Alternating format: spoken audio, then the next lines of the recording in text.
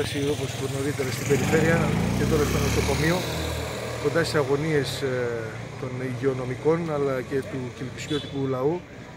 για μέτρα τα οποία πρέπει να πάρθουν, να διεκδικηθούν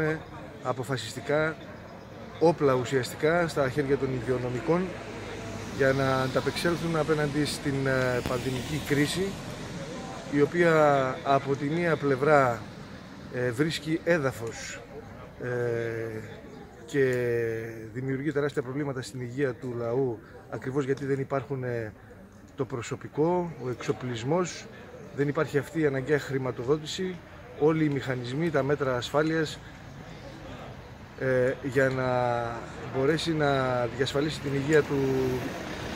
των λαϊκών στρωμάτων. Από την άλλη μεριά όλοι οι όροι διασποράς, τα σημεία στα οποία γίνεται εκρηκτική αυτή η εξάπλωση παραμένουν άθικτα γιατί όλοι οι μηχανισμοί κρατικοί είναι με τα χέρια δεμένα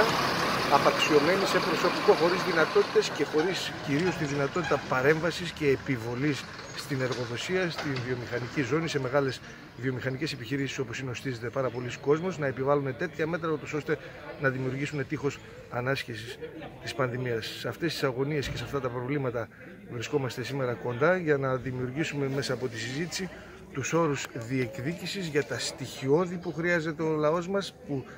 τα δικαιούται και πρέπει να τα απαιτήσει αποφασιστικά χωρίς καμία υποχώρηση για να μπορέσει να ανοίξει έναν δρόμο για μια υγεία συνολικά, ένα σύστημα υγείας με ενισχυμένη την πρωτοβάθμια φροντίδα υγείας που είναι η καρδιά του συστήματος και μπορεί να διασφαλίσει ουσιαστικά